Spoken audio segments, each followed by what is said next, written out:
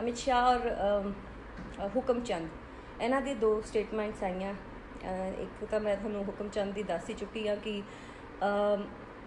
ਉਹਨੇ ਕੀ ਕਿਹਾ ਭਰੀ ਕਾਨਫਰੰਸ ਦੇ ਵਿੱਚ ਕਿ ਮੈਨੂੰ ਹਿੰਦੀ ਸਮਝ ਨਹੀਂ ਆਉਂਦੀ ਮੈਨੂੰ ਪੰਜਾਬੀ ਸਮਝ ਨਹੀਂ ਆਉਂਦੀ। ਤੁਸੀਂ ਪਲੀਜ਼ ਆਪਣੀ ਜਿਹੜਾ ਵੀ ਤੁਸੀਂ ਭਾਸ਼ਣ ਦੇ ਰਹੇ ਹੋ ਜਾਂ ਕਵਿਤਾ ਬੋਲ ਰਹੇ ਹੋ, ਜੋ ਵੀ ਉੱਥੇ ਚੱਲ ਰਿਹਾ ਸੀਗਾ, ਹਿੰਦੀ ਵਿੱਚ ਬੋਲੋ। ਤਾਂ ਅਗਰ ਇਹ ਗੱਲ ਕੀਤੀ ਜਾਏ ਤਾਂ ਸਾਡੇ ਮੋਦੀ ਸਾਹਿਬ ਜਦੋਂ ਕਿਤੇ ਵੀ ਯੂਐਨ ਦੇ ਵਿੱਚ ਕਿਤੇ ਵੀ ਬਾਹਰਲੇ ਮੁਲਕਾਂ ਦੇ ਵਿੱਚ ਜਦੋਂ ਵੀ ਜਾਂਦੇ ਆ ਤਾਂ ਹਿੰਦੀ ਵਿੱਚ ਭਾਸ਼ਣ ਦਿੰਦੇ ਆ ਆਪਣੀ ਮਾਤਰ ਭਾਸ਼ਾ ਦੇ ਵਿੱਚ। ਉਸ ਵੇਲੇ ਕਿ ਸਾਰਿਆਂ ਨੂੰ ਉਹ ਹਿੰਦੀ ਸਮਝ ਆਉਂਦੀ ਹੈ ਨਹੀਂ ਆਉਂਦੀ। ਉਹ ਰਿਪਰੈਜ਼ੈਂਟ ਕਰ ਰਹੇ ਆ ਆਪਣੇ ਹਿੰਦੂਜ਼ਮ ਨੂੰ ਆਪਣੇ ਇੰਡੀਆ ਨੂੰ ਆਪਣੇ ਅਹ, ਆਪਣਾ ਕਲਚਰ ਨੂੰ ਸ਼ੋਅ ਕਰ ਰਹੇ ਆ। ਉਹ ਹਿੰਦੀ ਉਹਨਾਂ ਦੀ ਪਹਿਲੀ ਬੋਲੀ ਆ। ਜਿਸ ਤਰ੍ਹਾਂ ਸਾਡੀ ਪਹਿਲੀ ਬੋਲੀ ਸਾਡੀ ਮਾਂ ਬੋਲੀ ਪੰਜਾਬੀ ਹੈ ਅਸੀਂ ਜਿੱਥੇ ਵੀ ਜਾਵਾਂਗੇ, ਅਸੀਂ ਪੰਜਾਬੀ ਦੇ ਵਿੱਚ ਗੱਲ ਕਰਾਂਗੇ। ਅਸੀਂ, ਸਾਡੇ, ਅਗਰ ਅਸੀਂ ਆਪਣੀ ਐਂਟਰਟੇਨਮੈਂਟ ਦੀ ਗੱਲ ਕਰੀਏ, ਤਾਂ ਅਸੀਂ ਕਿਤੇ ਵੀ ਜਾਂਦੇ ਆ ਤਾਂ ਅਸੀਂ ਪੰਜਾਬੀ ਦੇ ਵਿੱਚ ਹੀ ਗੱਲ ਕਰਦੇ ਆ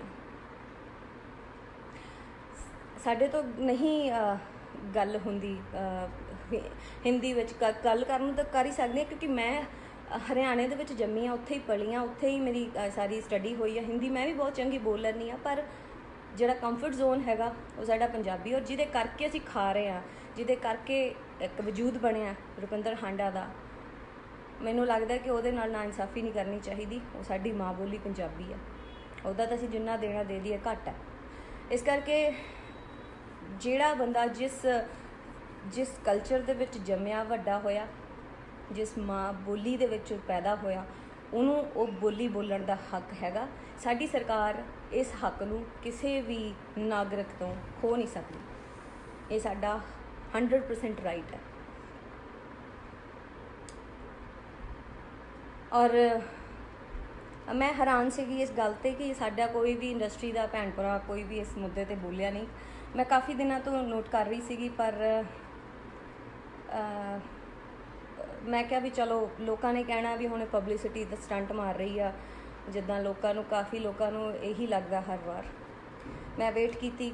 ਮੈਂ ਕਿਹਾ ਚਲੋ ਕੋਈ ਹੋਰ ਬੋਲੂਗਾ, ਕੋਈ ਸਾਡੇ ਤੋਂ, ਅਸੀਂ ਤਾਂ ਹਲੇ ਨਿਆਣੇ ਆ। ਹੋਰ ਬਹੁਤ ਸੂਝਵਾਨ ਸਾਡੇ ਇੰਡਸਟਰੀ ਦੇ ਵਿੱਚ ਹੈਗੇ ਆ, ਸਾਡੇ ਸੀਨੀਅਰਸ ਹੈਗੇ ਆ। ਸ਼ਾਇਦ ਇੱਕ ਦੋ ਜਣਿਆਂ ਦੇ ਸਟੇਟਮੈਂਟ ਸ਼ਾਇਦ ਆਈ ਆ, ਮੈਨੂੰ ਇਹ ਵੀ ਕਨਫਰਮ ਨਹੀਂ ਹੈਗਾ। ਪਰ ਹੋਰ ਜਿਹੜੇ ਸਾਡੇ ਸਾਡੇ ਕਲੀਗ ਹੈਗੇ ਆ, ਹਾਣ ਦੇ ਸਾਡੇ, ਕਿਸੇ ਦਾ ਵੀ ਕੋਈ ਸਟੇਟਮੈਂਟ ਨਹੀਂ ਆਈ ਜਦ ਕਿ ਅਸੀਂ ਇਸ ਮਾਂ ਬੋਲੀ ਤੋਂ ਖਾ ਰਹੇ ਹਾਂ। ਇਹਦੇ ਕਰਕੇ ਅੱਜ ਅਸੀਂ ਵੱਡੀਆਂ ਵੱਡੀਆਂ ਗੱਡੀਆਂ ਦੇ ਵਿੱਚ ਬਹਿ ਰਹੇ ਹਾਂ, ਵੱਡੀਆਂ ਕੋਠੀਆਂ ਦੇ ਵਿੱਚ ਆਲੀਸ਼ਾਨ ਹਰ ਇੱਕ ਲਗਜ਼ਰੀ ਚੀਜ਼ ਸਾਡੇ ਕੋਲ ਹੈਗੀ ਆ, ਉਹ ਇਸ ਮਾਂ ਬੋਲੀ ਕਰਕੇ ਆ। ਸੋ ਸਾਡਾ ਭੈਣ ਭਰਾ ਜਿੰਨੇ ਵੀ ਸਾਡੇ ਹੈਗੇ ਆ, ਸਾਡਾ ਹੱਕ ਬਣਦਾ ਕਿ ਅਸੀਂ ਇਹਦੇ ਬਾਰੇ ਸਾਡੀ ਮਾਂ ਬੋਲੀ ਨੂੰ ਬਚਾਉਣ ਲਈ ਯਤਨ ਕਰੀਏ ਕਿ ਧੱਕਾਸ਼ਾਹੀ ਤਾਂ ਹੋ ਰਹੀ ਹੈ ਸਾਡੀ ਜਿੰਨੇ ਵੀ ਹੁਣ ਇਸ ਵੇਲੇ ਮਾਹੌਲ ਚੱਲ ਰਿਹਾ, ਸਾਡੀ ਜੋ ਵੀ ਸਰਕਾਰ ਚੱਲ ਰਹੀ ਹੈ, ਬਹੁਤ ਚੀਜ਼ਾਂ 'ਚ ਧੱਕੇਸ਼ਾਹੀ ਹੋ ਰਹੀ ਹੈ। ਸੋ ਹੁਣ ਅਗਰ ਇੱਕ ਮਾਂ ਬੋਲੀ ਦਾ ਵੀ ਹੱਕ ਸਾਡੇ ਤੋਂ ਲੈ ਲਿਆ ਜਾਊਗਾ, ਤੇ ਇਹ ਤਾਂ ਫਿਰ ਮਾੜੀ ਗੱਲ ਹੈ। ਇਹਦੇ ਵਿੱਚ ਸਾਨੂੰ ਸਾਰਿਆਂ ਨੂੰ ਇਕੱਠੇ ਹੋਣ ਦੀ ਜ਼ਰੂਰਤ ਹੈ। ਸਾਡੀ ਇੰਡਸਟਰੀ ਨੂੰ ਵੀ ਅੱਗੇ ਆਉਣ ਦੀ ਜ਼ਰੂਰਤ ਹੈ। ਅਸੀਂ ਸੱਭਿਆਚਾਰ ਦੀ ਗੱਲ ਕਰਦੇ ਹਾਂ, ਜੇ ਸਾਡੀ ਬੋਲੀ ਨਹੀਂ ਰਹੂਗੀ, ਸਾਡੀ ਪੰਜਾਬੀ ਮਾਂ ਬੋਲੀ ਹੀ ਨਹੀਂ ਰਹੂਗੀ, ਤੇ ਅਸੀਂ ਕਿਹੜੇ ਸੱਭਿਆਚਾਰ ਦੀ ਗੱਲ ਕਰਾਂਗੇ?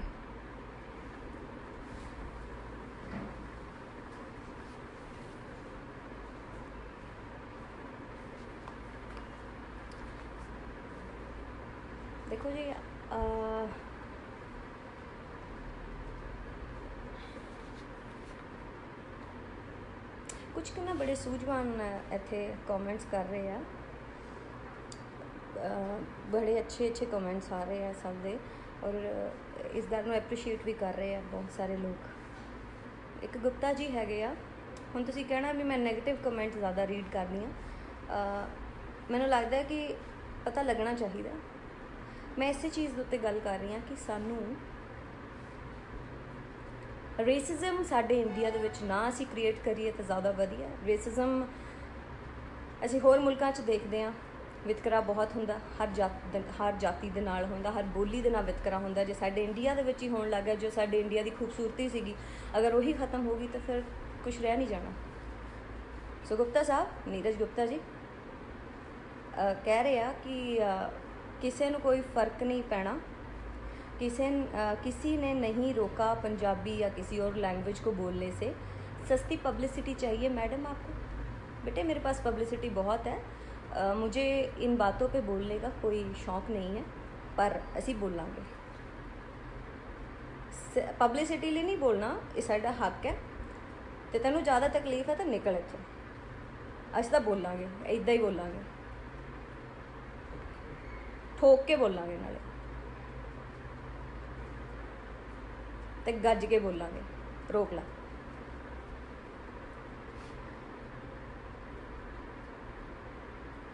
ਤੇ ਬਾਕੀ ਸਾਰੇ ਕਮੈਂਟਸ ਪੜਨ ਦਾ ਤਾਂ ਦੇਖਦੇ ਹਾਂ ਹੁਣ ਕੈਪਟਨ ਸਾਹਿਬ ਇਹਦੇ ਤੇ ਕੀ ਬੋਲਦੇ ਆ। ਵੈਸੇ ਮੇਰਾ ਕੋਈ ਸਿਆਸਤ ਦੇ ਉੱਤੇ ਬੋਲਣ ਦਾ ਕੋਈ ਮਕਸਦ ਨਹੀਂ ਹੈਗਾ। ਬਟ ਮੈਂ ਤੁਹਾਡਾ ਕਮੈਂਟ ਪੜ ਰਹੀ ਹਾਂ ਕਿਸੇ ਦਾ। ਜ- ਬੱਬੂ ਜਰਮਨੀ ਤੋਂ ਹੈਗੇ ਆ। ਉਹ ਕਹਿ ਰਹੇ ਕਿ ਉਸ ਦਿਨ ਕੈਪਟਨ ਦੀ ਕਹਾਣੀ ਖਤਮ ਕਰ ਦੇਣੀ ਕਿਸੇ ਨੇ। ਉਹ ਓ। ਸੋ ਕੈਪਟਨ ਦਾ ਕਮੈਂਟ ਪੜਿਆ ਤਾਂ ਮੈਨੂੰ ਉੱਥੋਂ ਯਾਦ ਆਇਆ ਕਿ ਕੈਪਟਨ ਸਾਹਿਬ ਦਾ ਕੀ ਬਿਆਨ ਆਉਂਦਾ ਕਿਉਂਕਿ ਮੁੱਦਾ ਤਾਂ ਕਾਫੀ ਇਹ ਭੱਜ ਚੁੱਕਿਆ ਔਰ ਕਾਫੀ ਸਾਰੀਆਂ ਰੋਸ ਰੈਲੀਆਂ ਵੀ ਕੱਢੀਆਂ ਗਈਆਂ।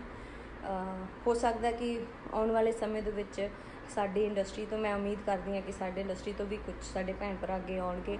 ਸੋ ਅਸੀਂ ਵੀ ਇਹਦੇ ਤੇ ਕੁਝ ਨਾ ਕੁਝ ਕੋਈ ਨਾ ਕੋਈ ਅਸੀਂ ਕਦਮ ਚੱਕਾਂਗੇ। ਬਾਕੀ ਤੁਹਾਡੇ ਸਾਰਿਆਂ ਦੇ ਸਾਥ ਦੀ ਜ਼ਰੂਰਤ ਹੈ। ਅਸੀਂ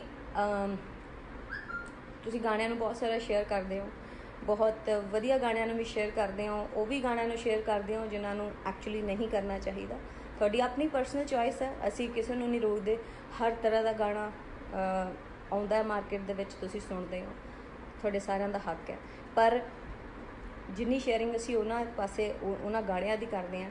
ਸੋ ਇਸ ਚੀਜ਼ ਦੇ ਬਾਰੇ ਵੀ ਤੁਸੀਂ ਜ਼ਰੂਰ ਸ਼ੇਅਰਿੰਗ ਕਰੋ। ਤੁਸੀਂ ਆਪਣੇ ਆਪਣੇ ਵਿਚਾਰ ਆਪਣੇ ਫੇਸਬੁੱਕ ਤੇ, ਆਪਣੇ ਇੰਸਟਾਗ੍ਰam ਤੇ, ਆਪਣੇ WhatsApp ਤੇ, ਆਪਣੇ ਜਿੰਨਾ ਵੀ ਤੁਸੀਂ ਅੱਗੇ ਪਹੁੰਚਾ ਸਕਦੇ ਹੋ ਇਸ ਮੈਸੇਜ ਨੂੰ, ਇਸ ਮੈਸੇਜ ਨੂੰ ਅੱਗੇ ਪਹੁੰਚਾਓ ਤਾਂ ਕਿ ਅਸੀਂ ਸਾਰੇ ਇਕੱਠ, ਇਕੱਠੇ ਹੋ ਕੇ ਇਹਦੇ ਉੱਤੇ ਜੋ ਵੀ ਉਹਨਾਂ ਦੀ ਮਾੜੀ ਇੱਕ ਸੋਚ ਹੈਗੀ ਆ ਕਿ ਅਸੀਂ ਪੰਜਾਬੀ ਨੂੰ ਖਤਮ ਕਰ ਦੇਣਾ, ਅਸੀਂ ਹੋਰ ਵੀ ਰੀਜਨਲ ਲੈਂਗੁਏਜਸ ਜਿੰਨੀਆਂ ਵੀ ਹੈਗੀਆਂ, ਜਿੱਦਾਂ ਗੁਜਰਾਤੀ ਹੋ ਗਈ ਪਤਾ ਨਹੀਂ ਗੁਜਰਾਤੀ ਨੂੰ ਖਤਮ ਕਰਨਗੇ ਜਾਂ ਨਹੀਂ, ਇਹਦੇ ਬਾਰੇ ਮੈਂ ਥੋੜੀ ਡਾਊਟਫੁਲ ਆ। ਕਿਉਂਕਿ ਪਿੱਛੇ ਜੇ ਇੱਕ ਮੈਨੂੰ ਮੈਸੇਜ ਆਇਆ WhatsApp ਤੇ।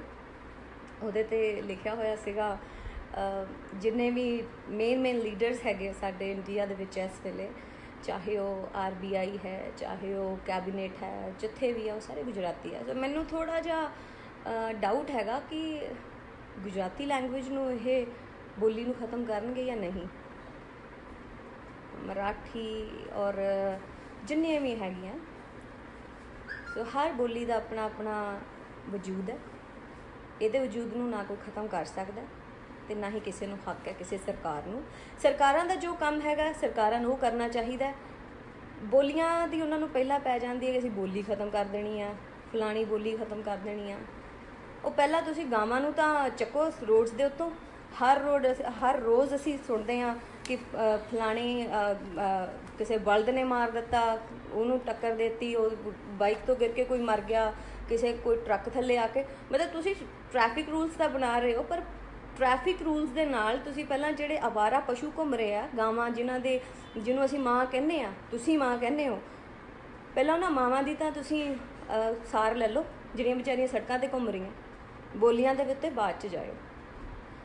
ਤੇ ਸਾਨੂੰ ਲੋੜ ਹੈਗੀ ਆ, ਇੱਕ ਸੂਝਵਾਨ, ਇੱਕ ਨੀਤੀ ਦੀ ਜ਼ਰੂਰਤ ਹੈ। ਆ ਘਟੀਆਂ ਚੀਜ਼ਾਂ ਦੇ ਵਿੱਚ ਜਿਹੜੀ ਉਹ ਹ- ਆਏ ਦਿਨ ਨਵੀਂ ਦੀ ਨਵੀਂ ਇੱਕ ਪੰਪ ਜਾਂ ਛੱਡ ਦਿੰਦੇ ਆ ਭਟਕਾਉਣ ਦੇ ਲਈ ਕਦੇ ਕੋਈ ਚੀਜ਼ ਬੋਲ ਦਿੰਦੇ ਆ, ਕਦੇ ਕੋਈ ਚੀਜ਼ ਲੋਕਾਂ ਦਾ ਧਿਆਨ ਭਟਕਾਉਣ ਲਈ। ਇਸ ਕਰਕੇ ਚੰਗੀਆਂ ਚੀਜ਼ਾਂ ਦੇ ਉੱਤੇ ਕੰਮ ਹੋਣਾ ਚਾਹੀਦਾ ਜਿਹੜੀਆਂ ਚੀਜ਼ਾਂ ਦੇ ਉੱਤੇ ਜਿਹੜੀ ਨੀਤੀਆਂ ਬਣਨੀਆਂ ਚਾਹੀਦੀਆਂ, ਉਹ ਨੀਤੀਆਂ ਤੇ ਕੰਮ ਨਹੀਂ ਹੋ ਰਿਹਾ। ਫालतू ਦੀ ਚੀਜ਼ਾਂ ਤੇ ਧਿਆਨ ਜਾ ਰਿਹਾ। ਲੋਕ ਇੱਥੇ ਸੇਫ ਨਹੀਂ ਹੈਗੇ। ਰੋਡ ਤੇ ਜਾਂਦੇ ਆ, ਡਰ ਲੱਗਾ ਰਹਿੰਦਾ ਕਿ ਬੰਦਾ ਸੇਫਲੀ ਵਾਪਸ ਆਊਗਾ ਘਰ ਜਾਂ ਨਹੀਂ ਆਊਗਾ। ਸੋ ਪਹਿਲਾਂ ਅਸੀਂ ਆਪਦੀ ਬੋਲੀ, ਪਹਿਲਾਂ ਉਹਨਾਂ ਚੀਜ਼ਾਂ ਤੇ ਕੰਮ ਕਰੋ, ਬੋਲੀਆਂ ਤੇ ਤੁਸੀਂ ਬਾਅਦ ਚ ਕਰਿਓ ਅਟੈਕ ਕਿ ਅਸੀਂ ਉਹ ਫਲਾਣੀ ਬੋਲੀ ਖਤਮ ਕਰਨੀ ਹੈ, ਪੰਜਾਬੀ ਮਾਂ ਬੋਲੀ ਨਾ ਖਤਮ ਹੋਈ ਸੀ, ਨਾ ਖਤਮ ਹੋ ਸਕਦੀ ਹੈ, ਨਾ ਅਸੀਂ ਹੋਣ ਦਾਂਗੇ। ਸੋ ਸਾਡੇ ਸਾਰਿਆਂ ਦੀ ਜ਼ਰੂਰਤ ਹੈ, ਇਕੱਠੇ ਹੋ ਕੇ ਆਪਾਂ ਨਾਲ ਰਲੀਏ ਸਾਰੇ, ਔਰ ਇਹਦੇ ਤੇ, ਇਹਦੇ ਲਈ ਆਵਾਜ਼ ਚੱਕੀਏ।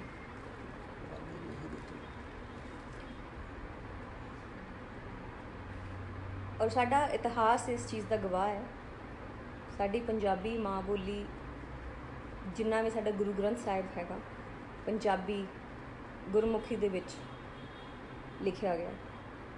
ਜਿੰਨੀਆਂ ਕੁਰਬਾਨੀਆਂ ਦਿੱਤੀਆਂ, ਉਹ ਪੰਜਾਬੀਆਂ ਨੇ ਦਿੱਤੀਆਂ, ਉਹ ਸਿੱਖਾਂ ਨੇ ਦਿੱਤੀਆਂ। ਇਹਨਾਂ ਨੇ ਕੀ ਕੀਤਾ? ਕੋਈ ਇਤਿਹਾਸ ਹੈ ਇਹਨਾਂ ਦਾ?